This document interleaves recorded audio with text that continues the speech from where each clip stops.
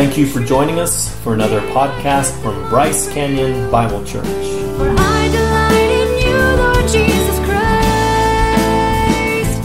We are located next to Bryce Canyon National Park in Tropic, Utah. Through the sky on eagle's wings. Now for the message. May my life be straight and true. May I Okay, we're picking up the first message in our series, Having Lion Hearted Faith. And last week was an introduction to that, and we talked about how in this world there are many fake heroes. We talked about American Idol, The Voice, and you know, all this stuff where we just raise somebody up and they become really a pop star. No real substance. Maybe a talent here and there, but you know, what are real heroes? And we talked about real heroes are those that are lion hearted in their faith. And when you look at that picture, you think, well, I'm not a lion. But we talked about how Jesus, the lion of the tribe of Judah, he dwells in you. Therefore, by faith, you are lion hearted. And each person we're going to be looking at over the next few weeks, each one of them is an example of an unlikely hero in unlikely times. And today is no difference there. We have Enoch, and Enoch is uh, faith to walk into heaven. He had the faith to walk right into heaven. And as we're looking at Enoch, it's a compelling and yet very short biography in the Bible about a man that did something amazing by faith. And I wanted to point out to you something that as we look at examples in the Bible, as we look at them, the goal is for us to, from that, say, How can I be like that? And Lord, what do you want to teach me? Because all Scripture is given by inspiration of God and is to teach us. So I was reading about George W. Bush's secret book he's been writing for a couple of years. I don't know if you knew about it, but he's writing a, a, a biography about his dad, George H.W. Bush, the 41st president being written by the 43rd. And people are all just, both Republicans, Democrats, Politico, all these people are, wow, we didn't know about this. This is out of the box. He kept it a secret, and he's just been in the little catacombs of his house there, painting and writing. You know, he is a, a decent painter. So, anyways, uh, people are interested to hear what he has to say about his dad, and I was reading about this book, and Mark McKinnon, one of George W. Bush's former political advisors, said this of um, Bush and his dad. He says, I've never seen a son that loves his father more, absolute and unconditional. He says, during one of our visits to Kennebunkport, Maine, with both Bushes, McKinnon said, quote, the interaction was so pure, sweet, and compelling that afterwards I snuck off to call my father to tell him how much I miss him. And I thought that's the essence of what we're doing this morning. We're looking at individuals that will provoke you to pick up the telephone and call your father. Pick up your telephone and call your father. And by that, I just mean saying, Father God, here's Enoch. I see his life and what he's like. I want to be like him. We used to play this little game, and we still do at times. It's called Bible Heroes, and it's this little game where you try, it's kind of like Old Maid. You try not to be stuck with Methuselah. He's the oldest guy, 969 years old in the Bible, and if you're stuck with Methuselah at the end, you lose. And uh, I just remember that game when you open the package, it says Bible Heroes is the name of it.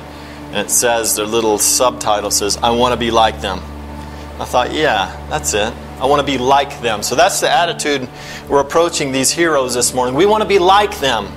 So as we get into looking at Enoch, we're going to read Genesis 5 21 through 24 first because there are three passages that deal with Enoch. And let's start with the Old Testament, the first passage Genesis chapter 5, 21 through 24. When Enoch had lived 65 years, he fathered Methuselah. Enoch walked with God after he fathered Methuselah 300 years and had other sons and daughters. Thus, all the days of Enoch were 365 years. Enoch walked with God, and he was not, for God took him. That's a compelling passage, and I'm so thankful we have the book of Hebrews and Jude that talk about this. Otherwise, I believe there would be some liberal commentators out there that say, ah, oh, what's the word took mean? It, means, oh, it took him closer or took him away somewhere. And we wouldn't think of it as dramatic. He was raptured, folks. This is an Old Testament rapture. It's the word that would be used for rapture, just snatched away. This could happen anytime that the rapture is going to take place, the snatching away of believers. And maybe one day down the road we'll talk about eschatology, future events, and the rapture. We've done that in a lot of our church plants. But this is an Old Testament snatching away. He's the only one in the Old Testament except for one other that was snatched away without dying. Can anybody think of the other Old Testament personality who was raptured away? Elijah. Elijah, yeah. Elijah the prophet. And how was he snatched away? Chariot of fire. chariot of fire. This whirlwind, dramatic moment, taken away dramatically. Wow. You know, and you think about that, and here's Enoch, and it gives us not only the fact that he's raptured away, but the reason. And we're going to look at that, and this is compelling. There's a few short verses, right, that we're looking at here. But I think it's so interesting that the New Testament delineates even further so we don't misinterpret that this is indeed a, a taking away, a zapping out, if you will, of Enoch up to heaven. And that's why we call it faith to walk into heaven, because his faith with God just brought him right out immediately. Let's look now at Hebrews chapter 11. Keep your place in these three passages. We'll be flipping all around here between the three. And in fact, you know what? I just remembered I have them on the overhead too. So you can either read it up here or flip to it in your Bible. There are Pew Bibles in front of you if you want to use those. Okay, Hebrews 11, 5 and 6. By faith, Enoch was taken up so that he should not see death. And he was not found because God had taken him. Now, before he was taken, he was commended as having pleased God. And without faith, it is impossible to please God. For whoever would draw near to God must believe that he exists and that he rewards those who seek him. That's really cool, isn't it? This is explaining that yes, he was raptured away because he pleased God. Then let's look at Jude 14 and 15. Jude only has one chapter, so it's verses 14 and 15 of the book of Jude. If you'll turn there, Jude is right before the book of Revelation. Jude is like 2 Peter. It's a book that tells us false prophets are coming into the church, false teachers who will take God's word and twist it in different ways. And there's a warning by Jude and, and Peter. They're, they're like, be careful. They're coming within the church. That's why we're, we got to be very careful what we teach in the church, even because these warnings are given. You know, we, we must only, we can't go beyond what is written here. So it says, It was also about these that Enoch, the seventh from Adam, prophesied, saying, Behold, the Lord comes with ten thousands of holy ones to execute judgment on all, and to convict all the ungodly of all their deeds of ungodliness that they have committed in such an ungodly way, and of all the harsh things that ungodly sinners have spoken against him. That, folks, is the original hell, fire, and brimstone message. Do you realize this is the first prophecy ever given in the Bible? Ever. It predates any others. And we have a unique glimpse here to look into this. Jude, by the inspiration of the Holy Spirit, was able to put this right out there before us. Enoch was a prophet, not just a goody goody two shoes walking through the world without putting his feet in the spiritual mud. No, he was one that stood there at the corner, just like his great grandson did. Who was his great grandson? Any ideas who Enoch's great grandson is? Noah. Noah. Noah was Enoch's great grandson, if you trace the genealogies. And, and we're going to tie some connections here. But Noah was also what? A preacher of righteousness, it says in 2 Peter. So Enoch passed that legacy down. Enoch stood there at the crossroads and he said, Hey, folks, judgment is coming. And it's related to your what? There's one word he keeps using there all the time. What is that repeated word? It's related to your, it's used about four times, ungodliness. That which is against God. And he even says at the end, you speak against him. So Enoch was a prophet. And I was so encouraged this week. One of you came up to me and said, Hey, there's uh, someone I work with. And I feel and sense the urgency of their soul. That they, they don't know Christ, and if they die, Scripture clearly teaches they're going to go to eternal destruction forever. And I've invited this person to, to come to church, and I say, hey, that's a great first step. Because, you know, starting even with that, and I think the next thing following through by, if they don't come to church, be an Enoch. You know, step up on your soapbox in love and say, hey, you know, this is what's at stake for you and every other person and for me. So Enoch was not afraid to do that. This is one reason God said, You're my friend. Come on up here. Woof, pulls him up because he had a voice in darkness. So you see already, we're looking at a serious hero here, people. The consequences of a faith walk. What are the consequences of a person who lives like Enoch? I want you to first look at the benefits, okay? Because we already read in Hebrews 11, it says, God is a rewarder of those that by faith diligently seek Him. He rewards them. So, what are the consequences if you walk by faith like Enoch did? Well, let's look here. Many will remember you. Do you want to be remembered after you're gone? I think that's legitimate because here we have Enoch. Enoch had a testimony, it says, and according to the writers of Hebrews, and um, th- his testimony lasted, get a load of this, 4,000 years. Because Hebrews are writing 4,000 years later, they're writing about Enoch. They're writing about him. What about fourth, if, if the Lord should tarry for 4,000 more years? If he should, I doubt he will, but if he does, will there be some inkling of your legacy that you've left for Christ? Well, you know, looking at Enoch, we're, we're, we're inspired by that. It's all about his glory, right? We're not saying puffing ourselves up and getting our names in books, no. But we're just talking about this is a consequence. We see it here. And not only that, I'm talking about Enoch 2,000 years later. That's 6,000 years after he's gone. We're talking about a hero. That's a legacy. Who won American Idol three years ago, four years ago? Who knows? American idolatry is what I like to call it. So, you know, those things don't matter. Okay, number two, many will miss you. You want to be missed when you're gone. I, you know, I remember in Chad, Africa, we were a missionary and, you know, evangelist working with the nomads of Chad for quite a few years, 10 years in Africa. While we were there, there was a guy named Raka, and he was a Muslim, and he came and did the welding on our windows. We had to put anti-vol, it was called this anti-thief bars that we had to put on our people to break in. There's a lot of theft there. So he came, and before he welded the bars with his welding machine, he got down on his mat and did his Muslim prayers. And we, the way he did it, we could tell was in defiance against what we stood for him while we were there. And we let him finish and everything, and you know, loved him, shared the Lord as much as we could with him.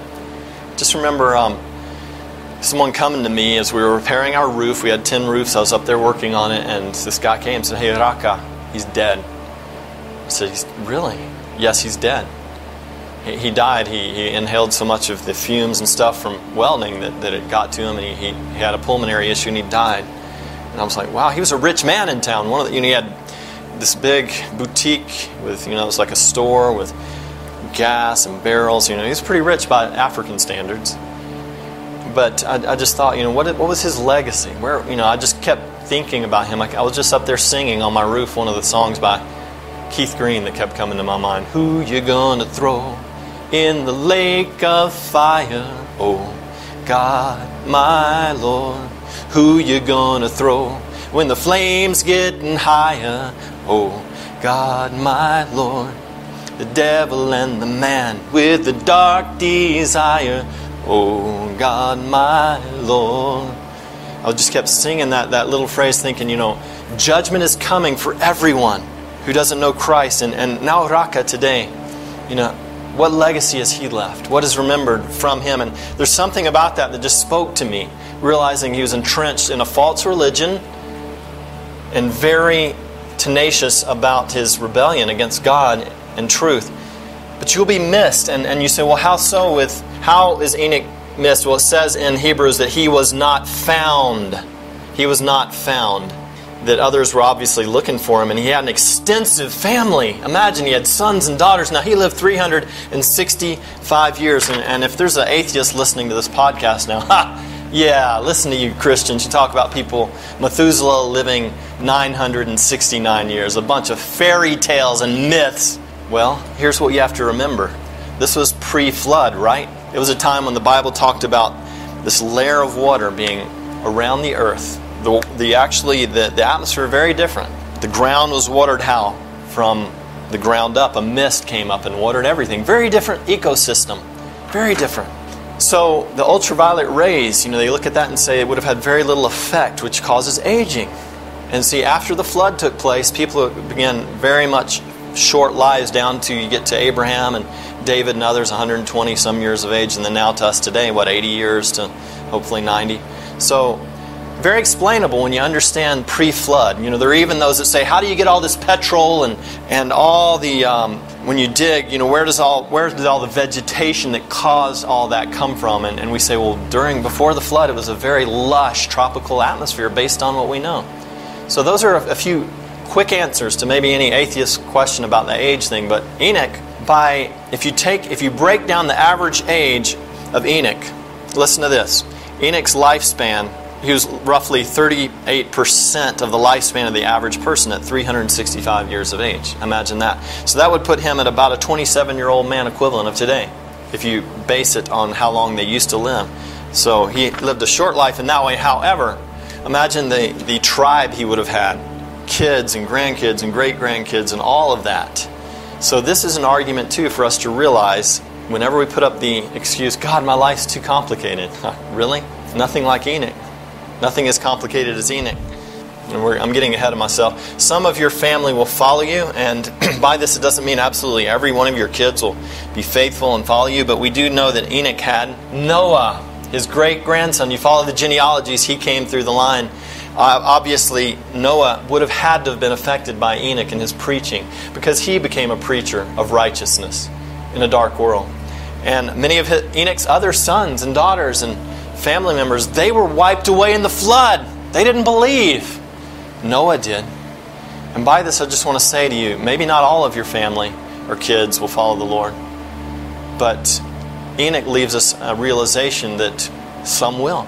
Give us a heritage of faithful children. God wanted him as another consequence of a, a faith walk. Do you want to be wanted by God? Is that something that appeals to you? Because it says um, God took him. And in the Hebrew, that word for took, it means to take something for yourself as a benefit or a treasure. He took him as a benefit and a treasure. He wanted him to be with him. It says in Psalm 4 3, But know that the Lord has set apart the godly man for himself. You're set apart for the Lord, set apart for him. He wants to set you apart for himself. Psalm 4 3. Psalm 116, 15. Precious in the sight of the Lord is the death of his godly ones. So when a person dies, God looks at that as a precious moment. Why? Because 2 Corinthians 5 8 says to be absent from the body is what? Present with the Lord. That's a precious moment. God wanted Enoch. Those are four points of a faith walk. Many will remember you, many will miss you. Some of your family will follow you. God wants you, I think is a better way to put it. Okay, now, characteristics of a faith walk. What's a faith walk look like? Hebrews 11:5 is our text for this. If you want to open to that passage, we're going to be looking and delineating, drawing out principles from Hebrews chapter 11. And so here we have those who walk with God are pleasing to Him. And this word is a very interesting word in the Greek. It's actually three pieces of words all put together. Has a prefix and two words merged together. The first part of the word means to rise up and elevate. The next part to stir up pleasing emotions. And the third part of this word is a very. In other words, it intensifies. So you put it all together and you come up with this compound meaning of that Greek word. To cause to rise up and stir up very pleasing emotions. Can you imagine your life does that to God as He his eyes are upon you, he's looking at you, and, and he has these stirred up, elevated, very pleased emotions. That's what took place with Enoch. He caused God's heart to wail up, wheel up, and stir up with satisfaction. Oh, that this may be true of us also, that let's be sons and daughters of Enoch. Okay, prayed for our nation and our generation. How about if we start right here and we stop complaining about Obama this, Obama that, and this senator, this senator. We pray for them. Yes, we can critique things, yes. And say, oh, that's not righteous, that's not okay. But here's the point. Let's let the change start here and say, Rob this, Rob that. Let, let my heart change. Let it begin with me. Change my heart. You know, that should be our heartbeat. That should be our heartbeat. To be pleasing to God. Okay, the second point here those who walk with God are prophets of God. We've already looked at this, and you can turn to Jude 14 and 15 again to look at that passage. Here we have Jude vocalizing the truth of God. And The theme of his sermon in those verses could be put in vernacular English like this Hey, you, the ungodly ones, you better stop it, for God's judgment is coming. that's just, you know, can you imagine that? That's kind of how it, that's what's being said here. Hey, you, you godly ones, stop it. Judgment is coming. That is a message that would get you a black eye, bloody nose, kicked out of most places, and who knows what endured for that. But we know God was pleased. And we know that we're to speak the truth what? In love. Ephesians 4:15 speak the truth in love that we are to whatever we speak no matter what the words are it's to be a loving motive. And does that mean we're little milk toast, panty waist? No, it, it means that we are to to speak the truth that we say with the, the trying to be restorative, that the truth may restore people and respecting their who they are, whether they're an authority or not. When Paul stood before Agrippa, when he stood before the high priest and, and so forth, he was respectful to them. Oh, Agrippa, I am thankful to come to you because I know you understand the traditions of the Jewish people, our people. And now hear me, O Agrippa, for I am not a crazy man in my message. This I bring to you that Jesus is the Messiah. So he spoke the truth, he engulfed it in a very respectful introduction. And I would challenge you to do the same, and I'm sure Enoch, in his culture, in his way, was loving, respectful, but forthright. And we see that forthrightfulness. And I would like to ask you this week have you been the voice of a prophet to somebody? What do I mean by voice of a prophet? I mean bringing forth prophetic truth that's already revealed right here. We don't have to invent anything, come up with something new. It's here. Just bring forth what is said. You bring that. Have you brought forth and delivered a prophetic message, a message from God's word to somebody this week in some way? The workplace, a friend. Maybe you're working side by side with somebody and they let out a bunch of bad words and, and you're there next to them. Maybe you just give a kind of look where they're like, oh, hey, sorry I said that. And, and you know, from that, just saying, you know, hey, I used to do that too, so I understand. So, but yet it does offend me because right now, you know, the Bible says, let no unwholesome word proceed from your mouth. I know Jesus Christ and I'm not perfect, but He's certainly changing me. And hey, do you know Him? You know, little things like that you can evangelize. Rise, O church, evangelize. Evangelize. It doesn't get any better than that, folks, because His Word is exalted above His name. God's Word is exalted above His name. Can't go beyond it, can't go under it, we go right to it. Three, those who walk with God have a practical walk with God. A practical walk with God. There's a it says um, a walk talks and a talk talks, but a walk talks louder than a talk talks. Did you get that? a walk talks and a talk talks, but a walk talks louder than a talk talks. I grew up hearing that from my pastor. And the simple thing is hey, your walk, your, your everyday practical life, it has an impact more than what you say. We just talked about the prophetic voice, didn't we? It's empty if you're not living it. You're like, oh, Pastor Rob, man, you're now you're slamming. You tell me to talk, now you tell me to walk. Okay, here's the point. If we talk, it should match our walk, right? And if it doesn't, Jesus even said this, hey, get first, pull the log out of your own eye. Then you'll know and see clearly how to pull it out of someone else's. Ray Rice just got uh, convicted of domestic violence. He's an amazing NFL athlete for those of you that like sports. He was on my fantasy team at one point, and just really great guy, makes lots of points for people. But the thing is, he got in an altercation with his wife, so domestic violence, and he came before the media and he says, This is unacceptable, it's wrong. And he says, I want to help others. He, but he, he said this, which is biblical. I don't know where he's at with the Lord, but he said a biblical principle. He says, I want one day to be able to help others with domestic violence. He says, but I'm not ready yet. First, I got to get my own act together. He says, once I do that, once I get my own act together, I want to go help others. I thought, fair enough. Fair enough. And maybe you're dealing with pornography men. Maybe one of you is engulfed in that. And statistically, it wouldn't surprise me if somebody in here struggles with it. If you've got that, don't think you can go out and talk to people about purity and holiness yet. You got to deal with that one. Get that log out of your eye and get some uh, a track record of purity, and then you can go and help others. So that's the point of Enoch here. He's not saying, "Hey, stop pornography," while he's secretly looking at it behind the scenes. Okay, that's just one example that I happen to pull out sporadically here. Now, the fourth one: those who walk with God have a persevering walk with God.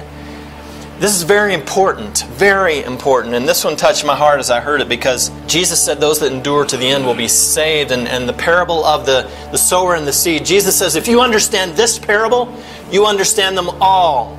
It's them, all of them hang on this. That the sower went out to sow the seed. And what does he say the seed is? It tells us in the passage, cross references. The seed is what? The Word of God. That's the Word of God we're sowing this morning. It went out and it fell in the soils. And he said, the, the soils are the hearts of men. One fell in the hard soil. And he says, that's the hard heart where the birds come and they, when the seed falls in the hard soil, the birds take the seed away. And that's the seed of God's Word falling on a hard heart. Satan comes and lifts it out immediately. You've seen that. You've shared Christ with people. Their heart's hard.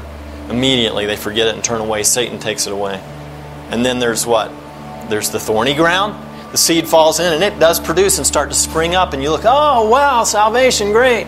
But it's not real, it's just a facade. It springs up, and then when the cares of this world and a desire for other things comes, that thorny ground, just like thorns that come up, they choke and kill the true seed that had produced, and it dies, doesn't it? And you say, well, it's not real, it didn't endure. And then there's the the one that falls on rocky soil. The seed falls in, it, it once again springs up, but it only lasts for a certain amount of time because it has no root. There are rocks underneath the ground we didn't see. Like if I would plant out here, and there's a level of gravel underneath, it would grow for so long and die. And that is, Jesus says, is the one that believes and begins to spring up, and then persecution comes. Persecution comes. The family members around you, against you, those things hit you, and all of a sudden, you shrivel. Difficult time comes, your boss steps up and says, You follow that Jesus, it's over with me and you. And I know someone literally that happened to. What do you do? Oh, okay, well, I, I guess I got to do your thing so I can make money.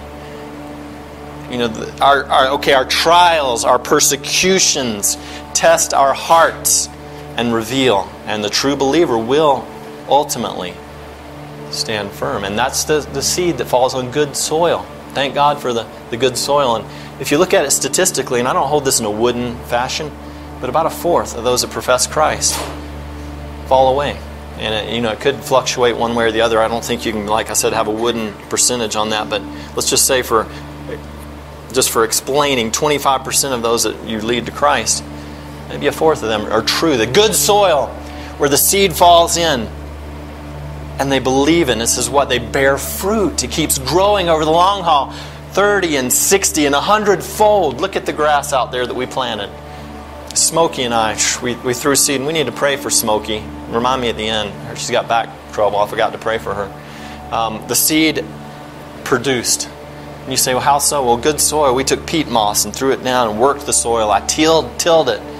We flattened it, covered it with everything, and then weed and feed, and, and now it's growing. God has His weed and feed, and the weeds fall away. True believers will grow. And so, this is the point that we're making persevering faith. Enoch persevered because he's our example here today. The ways that he persevered were that he walked with God for 300 years. Anybody walked with God 300 years yet? no hands going up. So um, that's quite a legacy. That's longer than our nation has been a nation. The United States of America has not been officially a nation for that long. That's how long he walked with God. And you say, well, he didn't live in our world, so he had it easy. Wait a minute. Not so fast on that excuse. Time out. Do you realize it was during that generation, very, very soon after that, a few hundred years, that um, God destroyed the entire world with a flood because Genesis says all the world was doing nothing but evil continually, except for one man and his family, Noah.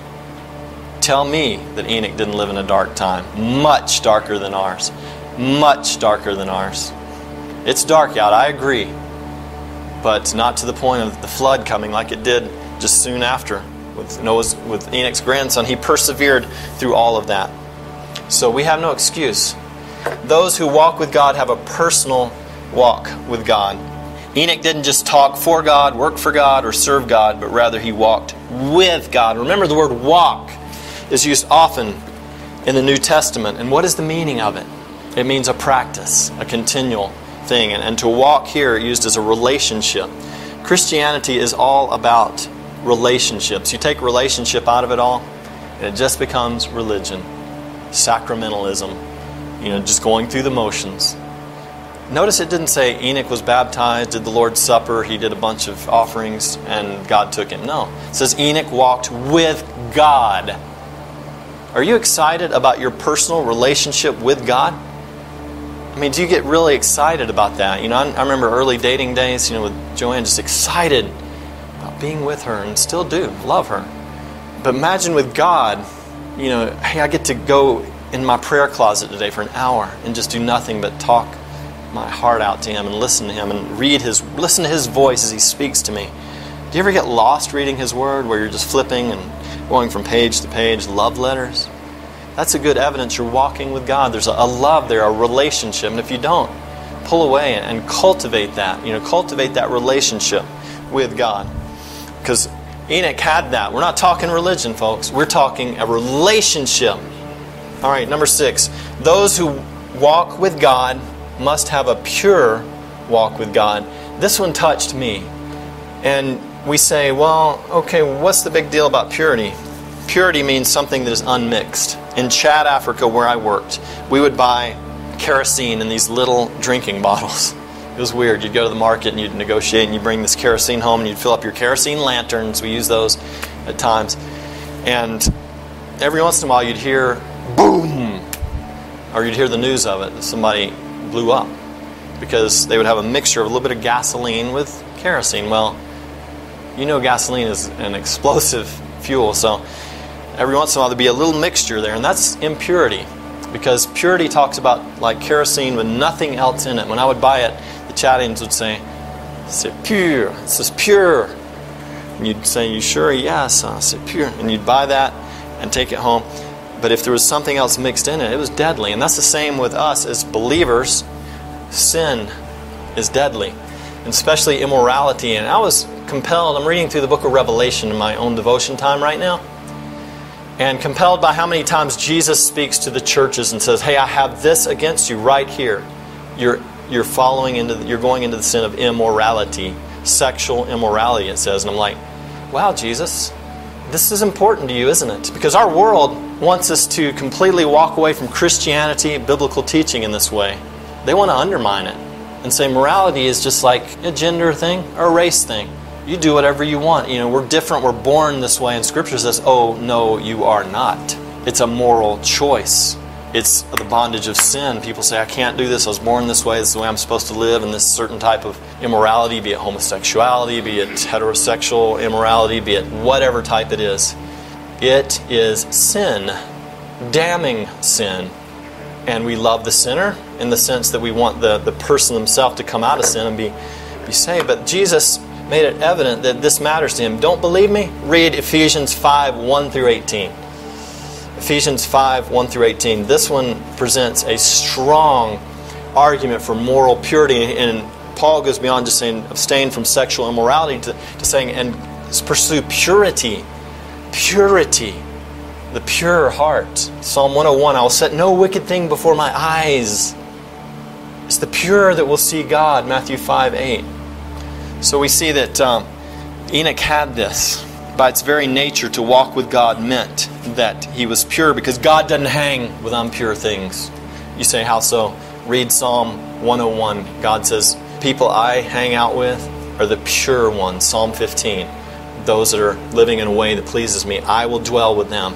Others, no. You can't see God if you're living in impurity according to Jesus in the um, Beatitudes. The pure will see God. So Noah had this pure purity of life that enabled him to walk the walk. Lastly, those who walk with God have a peaceful walk with God. A peaceful walk.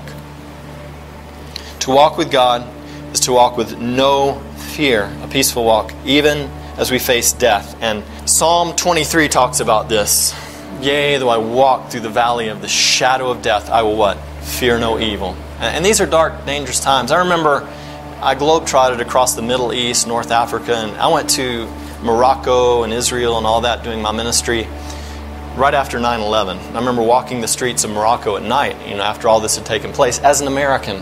I was, you know, I was going to eat at a restaurant, and I kind of was doing the easy thing. Then I'd, I'd eat at restaurants instead of trying to prepare my own meal when I was there in Morocco studying Arabic. And I just remember, hey, I'm scared. I'd tell myself, this is scary. You sure you should be doing this? And probably I shouldn't in some neighborhoods I was going through. But I just remembered thinking, okay, God, you've called me here and I got to eat tonight, and I ask that you protect me and help me to be wise too, yes, to, to walk around in the, more of the daytime. But yet, you know, that, that fear we can feel, can't we? So here we have David saying, you know, God is with me, I don't need to be afraid. And we can often be afraid in these times. We can be afraid to be that prophet, to speak out. And I believe it's going to switch more and more from social persecution to physical here in America. You may be imprisoned one day, you may be beaten up for your faith. Already we're getting social persecution, but we don't have to fear that. Paul and Silas, when they preached the gospel, did you see any shrinking back from them? They were beaten up and bloody in the prison of Philippi. There they were, and they were singing and praising God to the point where God says, Okay, that pleases me enough. I'm going to send an earthquake. place shakes, chains fall off, and once again, Paul, Silas, they look at the Philippian jailer, Don't kill yourself.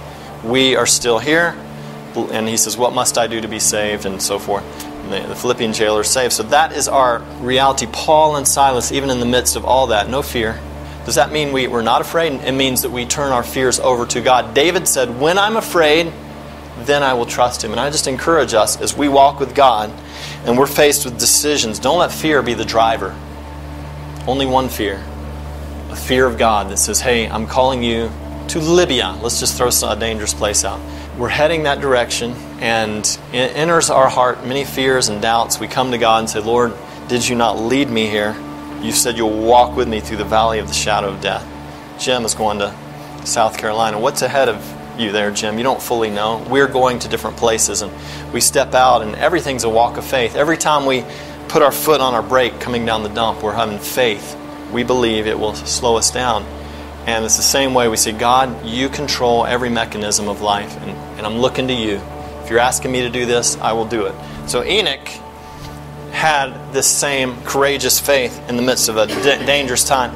My pastor, Harry Walls, worked in Watts, LA, and he worked for the famous E.V. Hill. Anybody ever heard of E.V. Hill, before? Okay. He's dynamic. You would be hooping and hollering and shouting if he was preaching because he gets the crowd into it, brothers and sisters. He gets them, and the whole crowd is, is going and, and um, just loves the Lord, preaches the solid word of God. And Harry was there walking down the streets at night with E.V. Hill. And, and Harry was scared. He's like, you know, should I be here? I'm a white dude in the midst of all this black hood here. I'm, I'm kind of scared. And E.V. Hill says, Harry, you're with me. I minister to these people. They know me, Harry. You're safe when you're with me. and so that's what you should hear God saying as you're walking through the hood and you feel a little bit out of place. Wherever you're called to, God's walking with you. You're, you're fine. So let's close with this final conclusion here Enoch, faith to walk into heaven. What about you? So when God looks down, and, and He does, it says, I was reading this also in the book of Revelation, that God tests the minds and hearts. He says, I test the minds and hearts of the churches.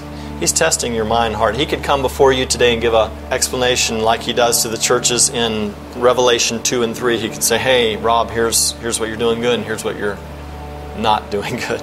He does that to a lot of the churches. Well, as he looks into your heart, what, what does he see today? selfishness, pride, love, faith, truth, egoism, fear, doubt. What are the, the qualities that kind of come to the surface there as he's looking into the kerosene of your heart and says, Whoa, there's some explosive impurity in there? What does he see that he wants to remove? Second Chronicles 16:9 says, For the eyes of the Lord run to and fro throughout the whole earth to give strong support to those whose heart is blameless toward Him, to show Himself strong to those that fully trust Him, it says in another version. So, God's eyes are moving everywhere, looking. He's looking at you. Will His eyes pass you by this time? Or will they stop on you and say, Here's one. Here's one I want to show myself strong through, like Enoch. He's walking with me. She's walking with me. I'm going to support them. Oh, they're an unlikely person. Maybe even in their own minds, very unlikely. But they trust me. They're walking with me. And I will strongly support them.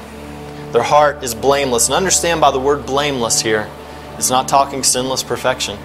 It's talking that your heart is blamelessly declared right before God through Christ. It has to be that way. To, to be a born again believer, it has your heart has to be perfect, washed perfectly clean. 2 Corinthians 5 21 says, He made him who knew no sin to be sin on our behalf, that we might become the righteousness of God. So our heart has to be fully righteous before God. That's salvation. And the next point is you say, well, okay, I know I'm saved, but I still I struggle. Is my heart blameless? Here's the point: a heart that is given to practice righteousness, that responds to the Lord, that's not in open rebellion. If you're in open rebellion against something, let's choose our sin of the day, so to speak, pornography. Let's just take that one as an illustrative sin. If you're holding on to that, not releasing it, hiding it, continuing in that practice, you can say, My heart's not blameless in the way I'm living. And a blameless heart is battling. Maybe you've had a battle with that in the past, and you say, Hey, that's a temptation, but I'm battling it. By the strength of the Lord, Romans 6, I'm dead to sin, and I'm walking in a pattern of obedience. Then you can say, you know, that's the kind of heart that God will honor. Blameless heart. So I hope you understand blamelessness is being declared righteous by Christ, and blamelessness is one who's responding to the Holy Spirit, convicting of sin and purifying because one day we'll be completely free of this flesh and not battle with sin anymore. But that is the day that we stand before God in heaven with our glorified bodies. As long as you're in the flesh, the battle will rage against sin.